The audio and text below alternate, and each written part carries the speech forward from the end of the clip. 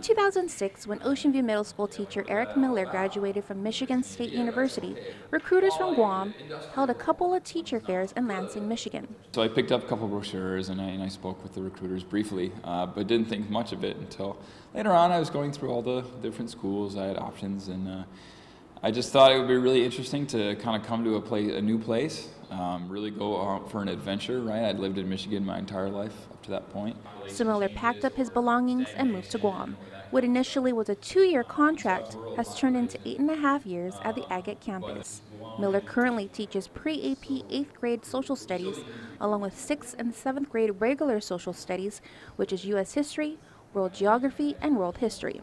He says he engages his students using a variety of teaching styles. With the sixth graders, they really are, are motivated by doing different games, right? And so we read, we write, we do all what are the essentials, um, but we also I like to have fun with the students as much as I can. Um, so we play games.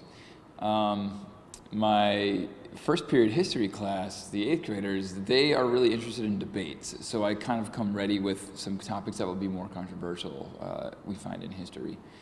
I wish, I wish there are plenty. So, uh, but that, that's what kind of gets them going.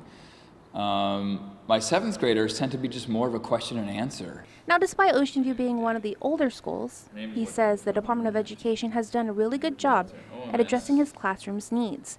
And as for challenges, you're dealing with students who are, you know, some students who are just can't get enough of their phones, they're online all the time, and so one of the challenges is to is to use technology but not use it too much, still expose them to reading out of a book, uh, having a discussion with real people, right? This is something that um, you kind of see fading with, with everything that happens online these days.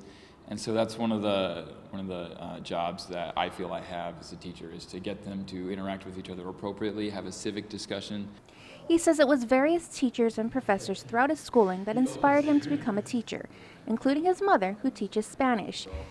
As for what is most rewarding for this educator, when I hear them say, oh, then I, I, don't even need them to say anything. Just from that noise that they make, I know they're learning and they're understanding.